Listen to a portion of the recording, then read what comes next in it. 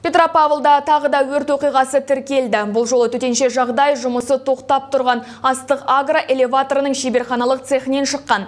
Тілсіз жау 220 шаршы метр аумақты алып төбесімен жабындысын құртқан. Құтқарушыларға өрт туралы хабар сағат түскі 3-тен 15 минут кеткенде түссе керек. От 4-тен 40 минут асқанда сөндіріледі.